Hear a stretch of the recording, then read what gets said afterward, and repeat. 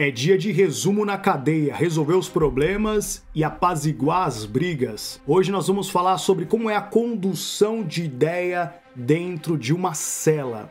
É pra garantir a paz que o malandro vai pra guerra. Treta de ladrão, pilantra enforcado na cela. No pavilhão, explode a rebelião. Escreve com sangue a nossa reivindicação. Seja muito bem-vindo, muito bem-vinda ao maior canal aqui do YouTube falando especificamente sobre o sistema prisional. Hoje eu quero entrar em detalhes como funciona a organização das ideias dentro do convívio em uma cela. Temos que entender algumas dinâmicas aqui. Existe o setor que acaba conduzindo o pavilhão, os problemas. E no próximo vídeo aqui do canal eu vou explicar para você como funciona a ideia do setor.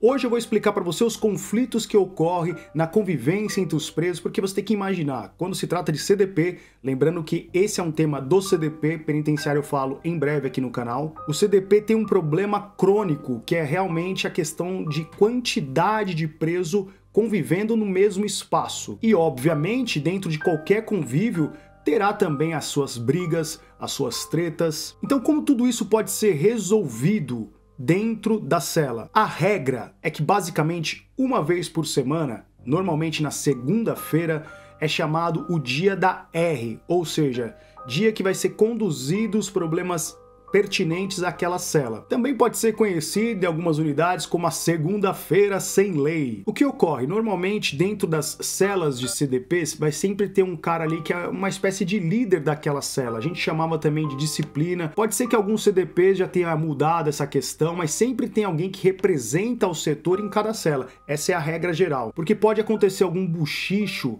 quando você está trancado, vamos imaginar então a dinâmica que você já conhece porque você já acompanhou o material aqui no canal. O preso fica muito mais tempo trancado do que no banho de sol. Obviamente, pode acontecer conflitos ali de convivência que vão precisar ser é, conduzidos, vão precisar ser apaziguados até ter um resumo final do setor. Eu vou pautar esse vídeo aqui basicamente da minha experiência, né, o que aconteceu quando eu vivenciei essa situação. Então, nessa ideia, que normalmente era na segunda-feira, o que, que ocorria? Vamos supor que teve um problema na terça, na quarta, na quinta, na véspera de visita e acumulando todos esses problemas não graves, né? Problemas às vezes de ah, uma questão de conduzir uh, horário de televisão, às vezes uma condução referente à barraca, às vezes uma condução referente à, à alimentação ou à higiene, enfim, vários motivos que poderiam ensejar, trazer como tema alguma coisa que precisava ser discutido dentro daquele pequeno coletivo. Até uma curiosidade interessante aqui: cada cela, pelo menos era isso que acontecia comigo na época que eu tive preso, cada cela tinha o que a gente chamava de ritmo. E esse ritmo, que era uma espécie de convivência, como é que aquela, aquela cela era conduzida, isso dependia muito do acordo em que aqueles presos que estavam convivendo naquele, naquele espaço, eles, ah, eles faziam ali os seus pactos. Então, por exemplo, no X2 tinha um ritmo, uh, na cela 4, também chamado de X4, era outro ritmo, e assim por diante. Por isso que essa troca de ideia, é, é, essa equalização, essa forma que eles tinham de analisar é, quais seriam os melhores, as melhores regras internas ali, elas definiriam como você ia conviver naquele ambiente. E olha outro fato interessante aqui. Tinha celas, por exemplo, que o cara queria mudar porque ele queria se adequar naquele ritmo. Então vamos dar um exemplo. Tinha celas que eram celas que tinham mais jovens, né? Era uma cela um pouco mais turbulenta. Então os presos mais velhos não queriam estar ali convivendo com aquela juventude, aqueles moleques mais a milhão, mais, né, que, que deixa a cela um pouco mais pesada. E aí na, na convivência ali, na troca de ideia do banho de sol, ele tentava fazer o que a gente chamava tipo uma manobra, né? Ele, ele tentava fazer ali um esquema para mudar de cela. Em algumas, em algumas cadeias é fácil fazer essa mudança de cela e outras não é tão fácil assim, depende muito do diretor, depende muito do chefe de plantão e depende logicamente dos motivos, né? Fato é que toda essa construção que você tinha para você conviver da melhor forma possível era passada por esse filtro das ideias de toda segunda-feira. Eu, por muito tempo, dentro do sistema prisional, fui o que a gente chamava de condutor de ideias. O que era o condutor de ideias? As prisões, por exemplo, que estão no estado de São Paulo, normalmente os condutores de ideias são membros da facção criminosa PCC, né, são aqueles que são chamados de irmãos, mas tem muita unidade, por exemplo, no estado de São Paulo que não tem PCC. que os PCCs às vezes estão distribuídos em outras unidades, ou o diretor não quer deixá-los naquela unidade específica. E o que acontece? E acaba se nomeando alguns companheiros que têm visão, alguns companheiros que são respeitados, considerados, todo aquele critério que você já sabe como fazer parte do corpo do setor ali, como faz parte daquela disciplina. Então por isso que eu falo que o tema sistema prisional ele é bem complexo, porque a regra é, se tiver um membro da organização criminosa, o condutor de ideia é o membro do PCC. Se, por exemplo, não tiver um PCC, vai se nomear um cara que não é do PCC para poder é, auxiliar na condução, para conduzir os problemas referentes aquela unidade. É importante falar isso porque sempre as pessoas às vezes pegam um exemplo de uma unidade específica, não lembrando que toda essa complexidade que eu estou citando aqui vai depender muito dessa dinâmica. Se estiver gostando do tema, não se esqueça de deixar o seu like, se inscrever aqui no canal e ative as notificações para que você saiba sempre que tiver vídeo novo aqui no canal. Chegado o dia da ideia, segunda-feira, qual era o horário mais ou menos que se conduziam essas ideias? Normalmente era depois das 6 horas da tarde, ali em torno de 6 e meia, 7 horas da tarde, a gente fala assim, ó, vamos dar o baixa na tela. O que é o baixa na tela? Desligava a televisão, desligava o rádio e ali era um momento em que você reunia todos os presos daquela cela, todo mundo ficava ali sentado, se, né, se organizando. Era o momento de ouvir os buchichos e os problemas internos. Qual era o padrão? Vou falar o que eu fazia como condutor de ideia. Qual era o padrão? Bom, rapaziada, firmeza, uma boa noite para todos aí, os caras. Boa, até engraçado. Vou passar para você mais ou menos como eu abordava essa ideia. Então, rapaziada, é o seguinte, Vamos aí tá trocando uma ideia. Primeiro queria perguntar como é que foi o dia de visita. Então se perguntava, como era na segunda-feira, normalmente a segunda era pós-visita, então se a visita fosse no domingo ou no sábado, a gente fazia essa pergunta, né? Aí como é que foi o dia de visita? Alguma novidade?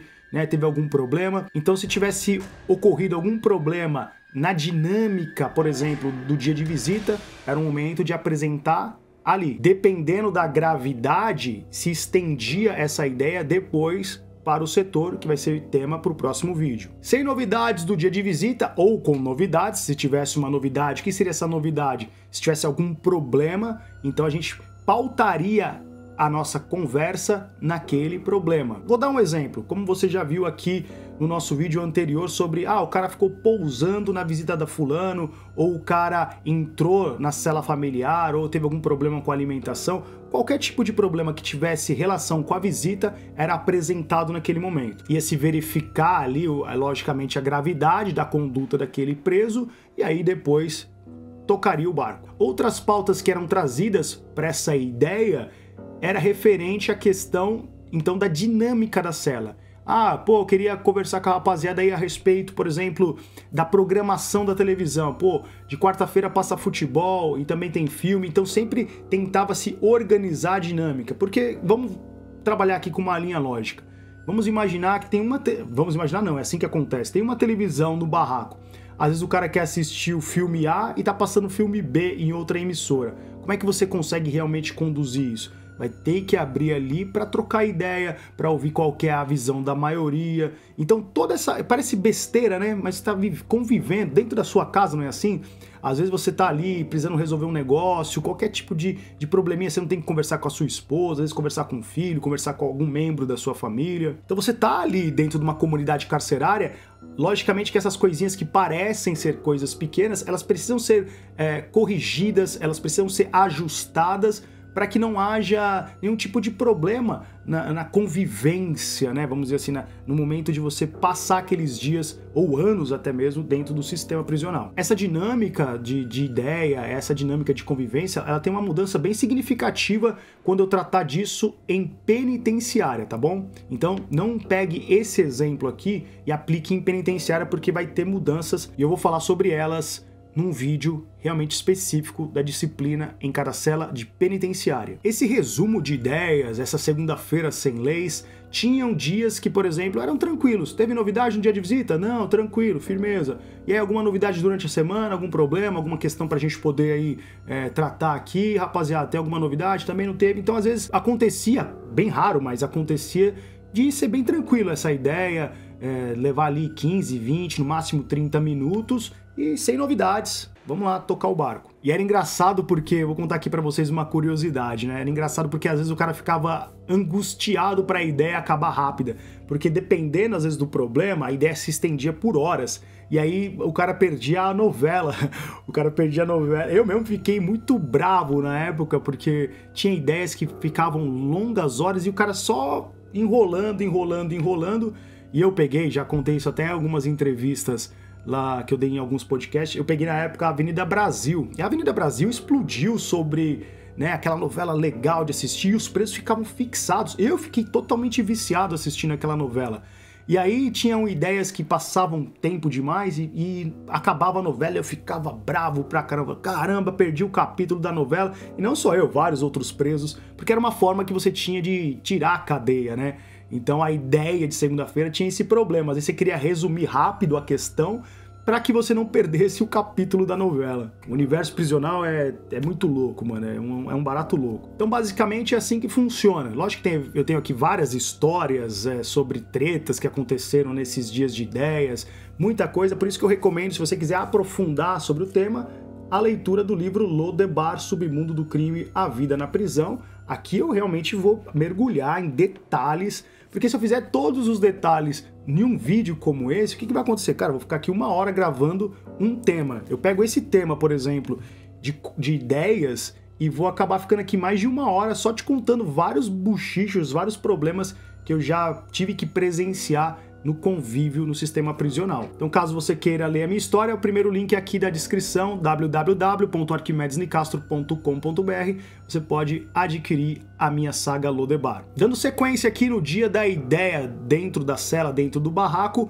não teve nenhum tipo de problema relacionado a essa questão de visita ou até mesmo de ambiente, não teve nenhum problema sobre organização, por exemplo, do, da programação da televisão. Também poderia ser trazido para a pauta da nossa conversa uma questão de nomear o barraqueiro, né, o cara que vai conduzir ali a distribuição do alimento, vai ser porque o que acontece? Às vezes acontecia o bonde, o barraqueiro era, era transferido ou o barraqueiro ganhava a liberdade, então você tinha que parar novamente o barraco para nomear algum tipo de preso que quisesse assumir essa função. Às vezes o preso aproveitava esse dia da ideia para falar que não estava contente em morar naquele barraco, que ele ia buscar o que a gente chamava de melhora. Um dos resumos, era uma, uma das decisões que muitas vezes o coletivo desse barraco tomava, era o que a gente chamava de pedalar o companheiro. O que significa esse termo pedalar o companheiro? Pedalar o companheiro é quando realmente ele não está enquadrado naquelas normas da cela, ele não está enquadrado naquele ritmo daquele barraco,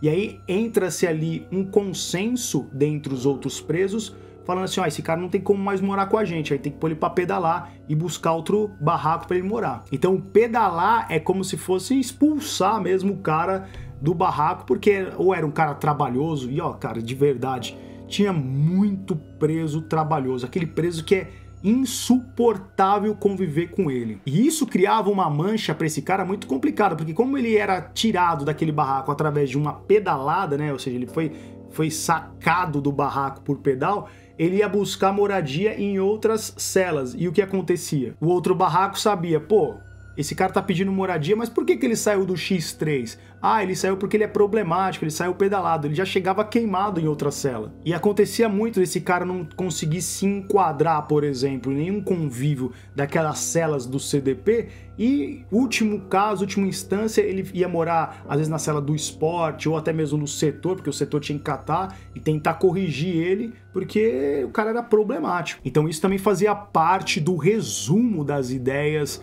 ali da segunda-feira. E também até mesmo era discutido nessa ideia de segunda-feira o acolhimento de um cara que queria morar com a gente. Então vamos supor que é, tinha um fulano de tal do barraco X, né, de, um, de, um, de, um, de uma outra cela, e ele pediu moradia para morar naquela cela. Vamos supor, eu tô partindo do meu exemplo. Ah, o cara quer morar na cela que eu tô que eu tô convivendo aqui. Então, fulano de tal quer morar com a gente. Eu colocava essa questão para análise. Falou assim, ó, oh, rapaziada, fulano de tal pediu aqui moradia, quer vir somar com a gente, quer morar com a gente aqui no barraco. E aí, o que, que vocês acham? Então ali se discutia o perfil do preso, se discutia se o cara era tranquilo, se ele ia se enquadrar naquele ritmo. Tinha todas essas questões realmente para ser debatidas, principalmente no dia da ideia. Como eu citei, reforço aqui, isso era uma questão de organização dentro do ambiente da cela.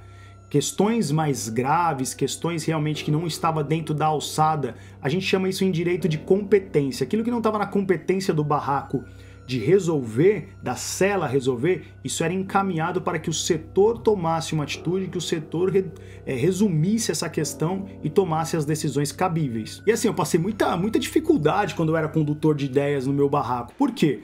Porque a, a, o preso ele é vaidoso, já falei sobre isso aqui a respeito. Normalmente os caras eles acabavam querendo criar situações, muitas vezes para pegar uma falha minha, porque às vezes o cara queria me sacar porque eu era o condutor de ideia, não ia com a minha cara. Eu já vivenciei assim situações muito delicadas no momento de confronto de ideia. É que assim, gente, falando bem a verdade, assim, eu não gosto muito de falar de mim porque dá aquela impressão, ah, o cara tá se achando e tal, nada disso. Por isso que eu mal falo aqui das minhas experiências, deixo sempre pra pessoa ler na saga Lodebar. Por quê?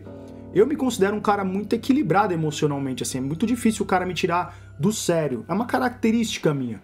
Né? Eu sou um cara bem ponderado com as palavras, sou muito atento aos detalhes. E isso na cadeia é uma coisa, é uma arma, é uma puta arma, um cara que sabe trocar ideia, o um cara que tem postura. Tem caras que não sabem o que fala. Então eu tinha muito cuidado com as minhas palavras, eu era muito incisivo, eu tinha esse domínio na fala. E isso trazia algumas pessoas que não gostavam de mim.